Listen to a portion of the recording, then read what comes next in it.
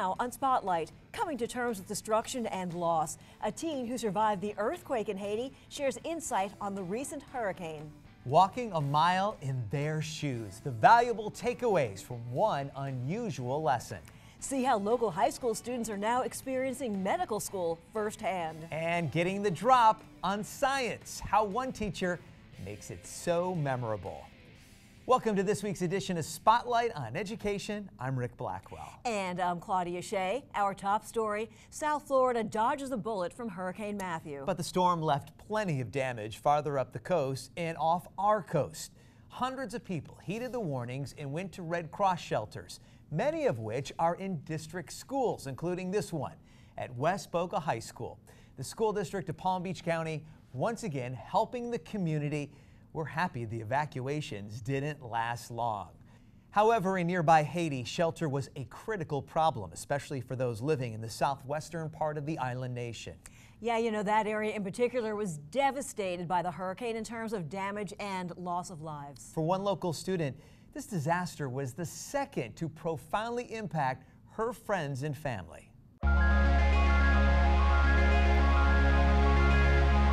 This Coast Guard video of Haiti's southwestern peninsula exposes the swath of death and devastation left in the wake of Hurricane Matthew. Hey, my name is Jesula Ginat. For Atlantic High School senior Jesula Ginat, these heart-wrenching images are personal. My mom is still in Haiti, my older brother, and I have cousins.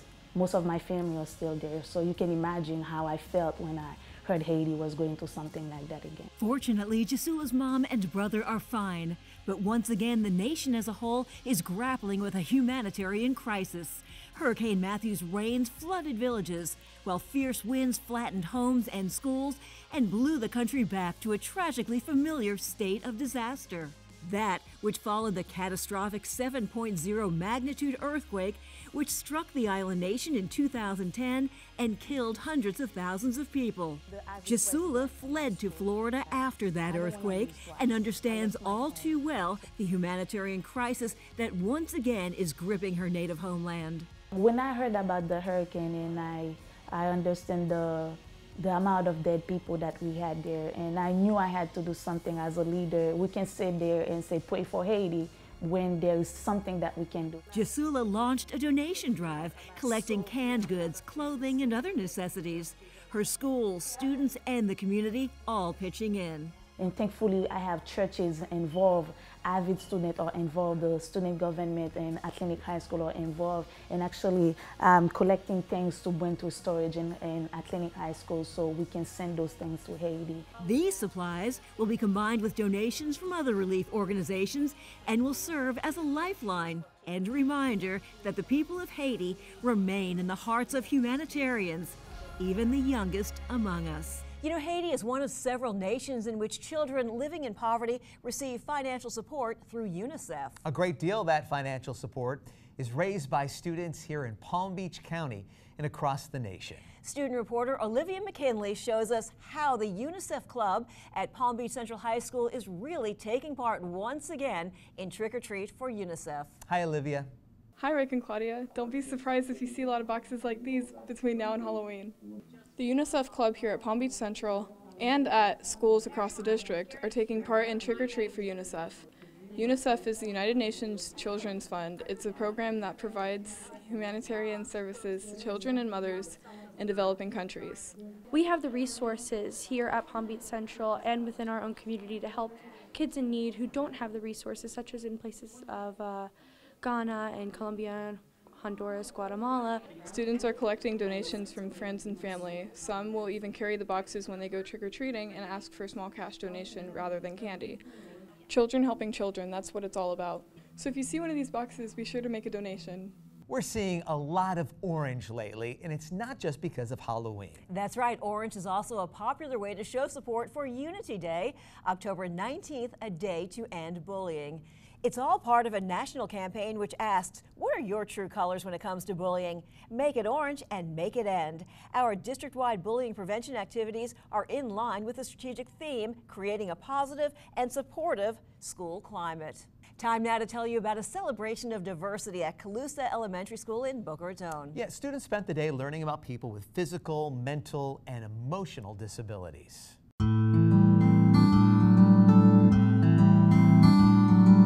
From a distance, this looks like a simple game of charades.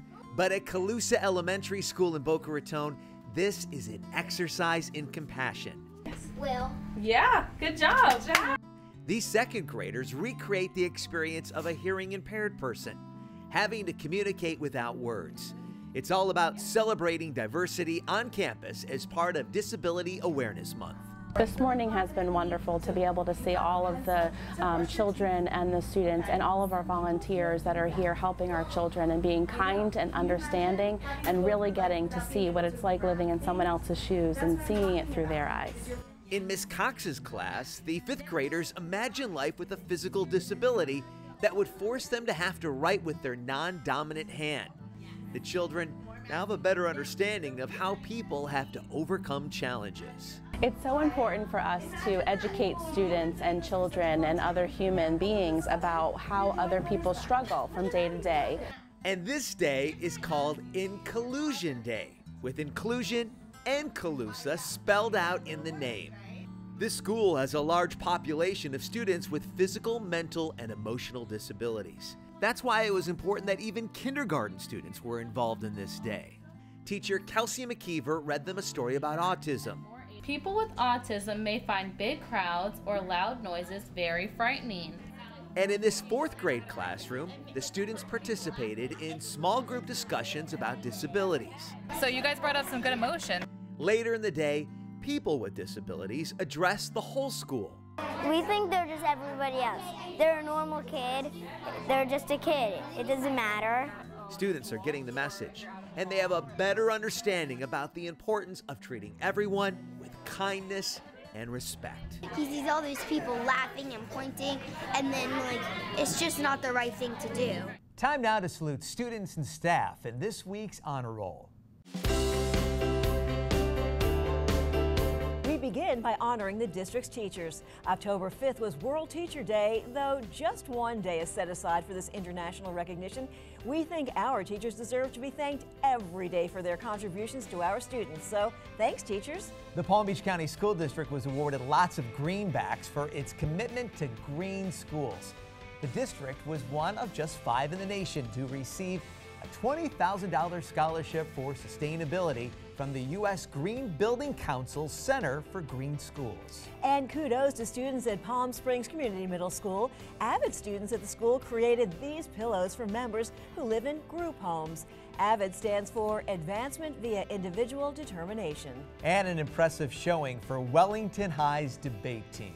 Members earned top honors at the Palm Beach Catholic Forensic League 2016-17 championship season. Six Wellington debaters earned new or additional National Debate Association degrees. You know, in a matter of just weeks, voters will be asked to decide if schools will get more funding through a one penny sales surtax. The Education Network's Gary Whittam takes us inside one school that some say is beyond repair.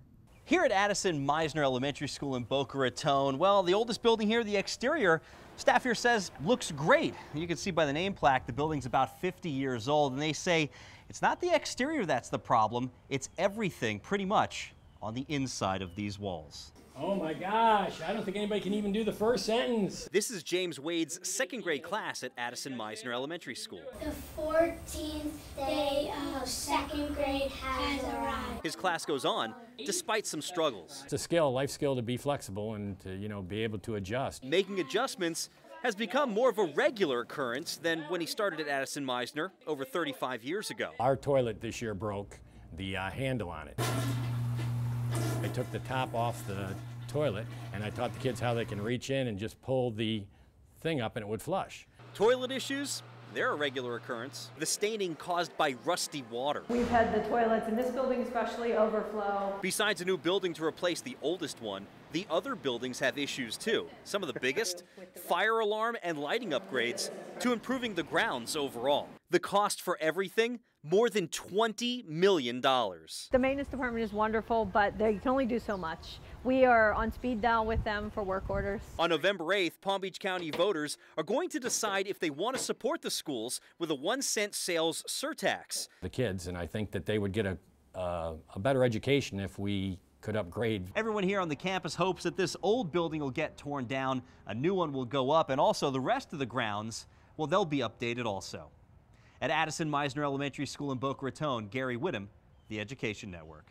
Boynton Beach High School students in the school's Medical Sciences Academy took a field trip that some say could actually inspire them for the rest of their lives. Well, they visited the medical school at Florida Atlantic University, and after their day on campus touring FAU's med school, many are now focused on life after high school. For one day, high school sophomores turned into college medical students. So we need to know things like that when we're going to be administering medication. 40 10th graders from the Boynton Beach High School Medical Sciences Academy took a field trip to Florida Atlantic University's med school in Boca Raton. If this is what I want, this is what I aspire to, it, it, it sort of gives you that incentive to say it's a life changing instance, and I hope that it drives them to keep their passion alive and decide that they want to be in the medical profession. Mark Goldstein is the senior director of FAU's College of Medicine Simulation Center. In this case, he showed the students what to do if a patient was having a heart attack. Shock delivered. Now we would start again. Dave, Dave, you with me? Dave, you with me? My chest hurts. Oh, I bet it does. Yes, the mannequins talk at FAU. In each room, mirror glass, where FAU med students play the part of patients. I can't move my hand. I'm scared. They even respond to questions. Have you been on any medication? The Boynton Beach High School students learn from these real life and death scenarios. That very well could be me one day as a doctor standing over someone in a code blue situation having to carry out CPR on somebody. So having experience like that, I won't like freak out or anything when that day comes. Hopefully it doesn't, but you know, if it does, I'll be prepared. It's all about preparation inside this academy. Teacher William Parker has seen the program double in size. At Boynton Beach High School, they practice CPR and study anatomy on a 3D computer.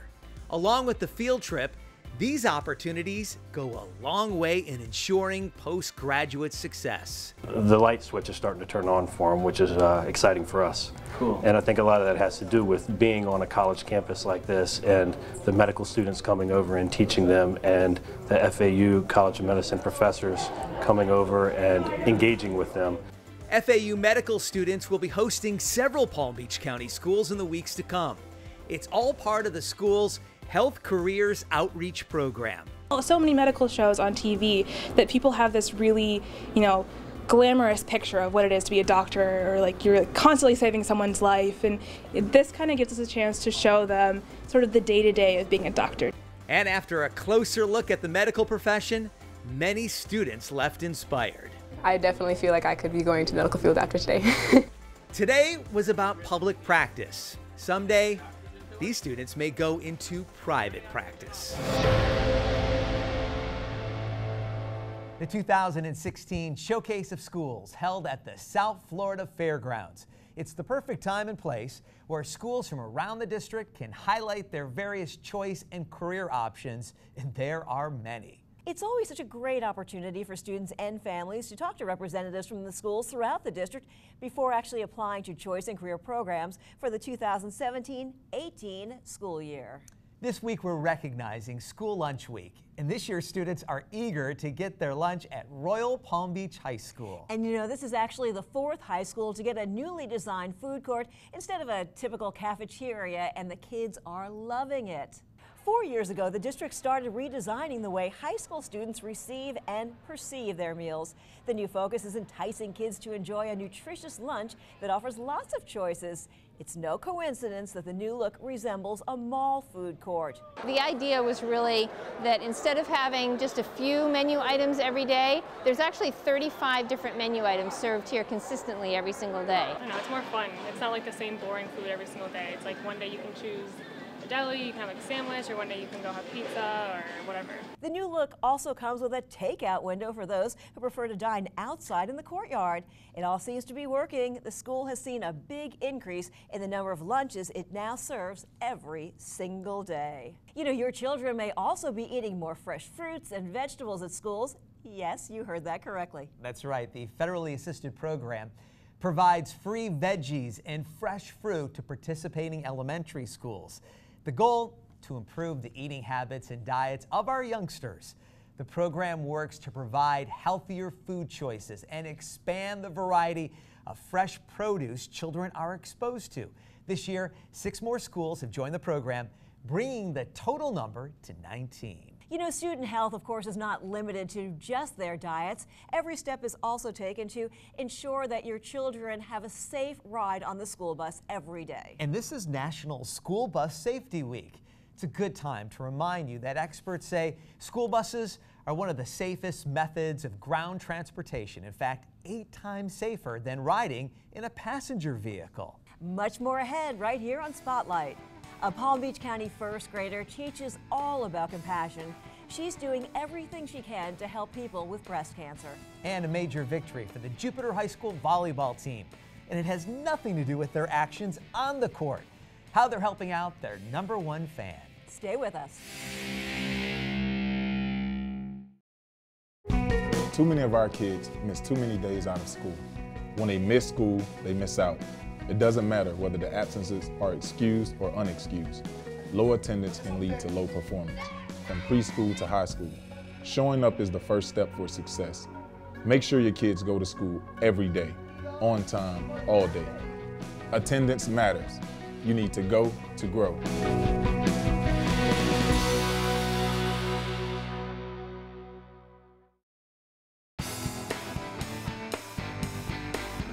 Now for good sports right here on Spotlight on Education. I'm at Jupiter High School. A big volleyball game tonight. Got the Jupiter Warriors taking on the Benjamin Buccaneers, but it's really more than just the volleyball action tonight. They're raising money for a wonderful cause. When someone in the Jupiter High School athletic family is dealing with adversity, this group comes together. Mike Brown is a fixture at all Jupiter High volleyball games. His iPhone is focused on number eight, his daughter Jaden, one of the top players in Palm Beach County. Jaden has verbally committed to play volleyball next year at the University of South Florida. That's the joy in Mike's life. The pain is his fight with esophageal cancer. To help Mike in that fight, fans at Jupiter High School wore blue shirts and ribbons to this game against Benjamin. The school raised $6,000 to help the Brown family through the sale of refreshments, a silent auction, and a donation drive. Mike is currently undergoing chemotherapy treatments. He inspires his daughter and the entire Warrior family.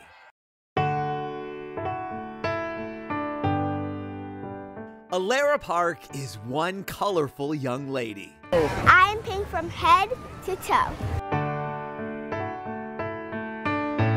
This Seminole Trails Elementary School first grader may be pretty in pink, but she has a heart of gold. I'm proud of myself because because I've been doing so much. Alara is walking, doing a lot of dancing, and raising money to fight breast cancer.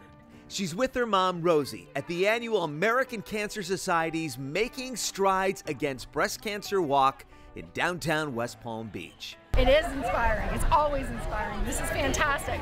And then to pass it on to Alara and she understands how important this cause is, it's fantastic. Also fantastic, the entire Seminole Trails Elementary School team. They are family. It's not how there's love and support. That I don't think people realize that with the school district, it's not just school, it's not just teachers, it's love and support. They showed their support by donating $1,700 to Team Betty's. Betty is Alara's great grandmother who died of breast cancer. It's just a good way to honor her and love her. Three, two, one. The Making Strides Walk of Palm Beach has officially begun. There was a lot of love on this course along the Intracoastal. Family and friends form teams to honor cancer survivors like Cheryl Lally. I love it. You guys are like in the parade. Thank you. Not everyone had pink hair, pink boas, or pink hats, but these walkers share a common goal to wipe out breast cancer.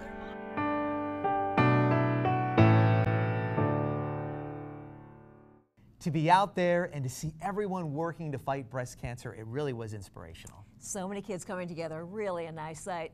Okay, time now to talk about learning is fun. Under the slogan Full Steam Ahead, Polo Park Middle School is working to roll out its makerspace in the school's Library Media Center. Thanks to a grant from the Jacobs Family Foundation of Wellington, students enrolled in the STEM class will explore technology in an informal, alternative setting. This is just another step toward Polo Park's new IT Magnet program, which starts next year. We'd also like to thank the Jacobs Family Foundation for another generous donation. The foundation donated 335 books to New Horizons Elementary School. All of the books are written in Spanish and will benefit the school's International Spanish Academy. Pre-K students at Wellington Elementary School are using mirrors to fine-tune their speech skills. Speech pathologist Cheryl Payne is behind this innovative method of showing students what sounds look like. Students at Palm Beach Public had a great time turning their principal into a human ice cream sundae. The top Boosterathon fundraiser from each class was selected to have fun with all the toppings. Money raised will be used to modernize the school's library. That principal is a very good sport. Yeah. Okay, much more ahead for you right here on Spotlight, including a look at what's coming up around our community. And a Palm Beach County School District teacher named Best in the State. We're going to tell you what makes Tracy Smith such a special teacher.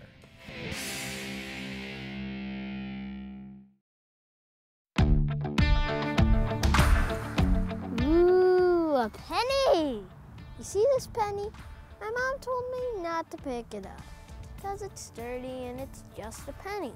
But just a penny can add up when it's combined with a whole bunch of other pennies. Don't tell my mom, but I pick up pennies whenever I can, and then I wash my hands. I find them on the sidewalk, the washing machine, between my mom's seats. I find lots of them in between my mom's car seats. This November, I'm not the only kid that's counting on a penny. The penny sales tax will give district schools $1.35 billion to improve technology in our schools. It would replace old school buses. A lot of our schools will get things fixed that need fixing. Like roofs and air conditioning units. And we'll be able to make our schools safer with security enhancements. That sounds pretty awesome to me. And I'm not a grown-up, and I can't vote. But you're a grown-up and you can vote. A penny might not seem like much, but it means a whole lot to us. Think about it. All that spare change can add up. One county, one penny. A penny counts. Election day is November 8th.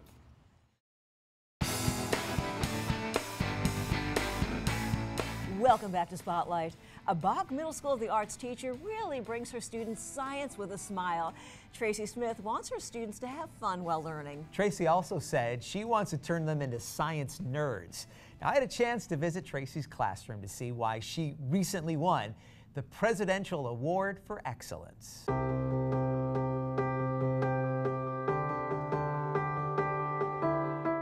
Mrs. Smith went to Washington. Bak Middle School teacher Tracy Smith visited the White House recently to receive a Presidential Award for Excellence in Mathematics and Science Teaching. It's very exciting. I am so humbled by it because I know what kind of science education is going around in this county and it's unbelievable. And Mrs. Smith is an unbelievable teacher. You need to know the steps. You need to understand the process of experimentation. It's her belief in the potential of her students. So this is going to be your basket apparatus. Yes. And the power of education that fuels her passion for teaching. This is the age group that needs a really good role model, not only as a scientist, but just in general. And I just feel like that's, that's my opportunity. This commitment to her kids, the reason why she was named top middle school science teacher in the state. She won $10,000 and a citation signed by the president. Mrs. Smith downplays her accomplishments and believes any of her Bak colleagues could have won the award. There is so much good going on in education and so many unbelievable teachers walk up and down this hallway right now here in the eighth grade building and pop into any classroom and you'll be amazed at what you see. A visit to the classroom and you may see projects like the egg drop competition. Mrs. Smith has her eighth grade physical science students creating parachutes and baskets to protect an egg. Three, two, when dropped from a second floor walkway. What do you think, guys? Did it survive? It survived! It survived! You cannot teach science without having them get their hands on it. They have to get their hands on it and talk about it and um, problem solve. I think that she's a special teacher because she likes to get involved with the activities and she likes to have fun with it. So if you're having more fun, you're bound to pay attention more and you can learn more out of the process instead of just doing work to do work. Mrs. Smith, a good example of a district teacher providing effective and relevant instruction. Sure, she appreciates the presidential citation, but seeing the students progress is her real reward. They still love to learn. The light bulbs go off. They make me laugh every day. Um, it's a pleasure to come to work. Mrs. Smith has been a teacher for 27 years. Now she has the presidential seal of approval. Great job, Tracy. And some eggs were damaged in the taping of that package. Guess it seems like it was inevitable. Yeah. Well, time now for a look at this week's community calendar. The Palm Beach County School District invites you to the annual College and Career Fair. More than 150 colleges, universities, trade schools, and the armed forces will have booths and plenty of information. Financial aid representatives will also be available. Join us Monday, October 24th from 6 to 8 p.m. at the Expo Center at the South Florida Fairgrounds. A.W. Dreyfoos School of the Arts invites you to its open house events. The first is for prospective students interested in communications, dance, digital media, theater, and visual arts. This takes place November 2nd from 5:30 to 7:30 p.m. The second open house takes place on November 10th. This event is for students interested in band, piano, strings, or vocal. No reservations are required. Register now for the Heroes for Education 5K Run and Walk. This event takes place on November 12th at Bryant Park in Lake Worth. Register a team from your Palm Beach County Public School. The two top teams will each be awarded a physical education grant. Find out more by contacting the Education Foundation at www.educationfoundationpbc.org. If you have a good story to share or an event coming up, let us know. Email us at goodnews at palmbeachschools.org. And that wraps up this week's edition of Spotlight on Education, brought to you by the Education Network, keeping you informed.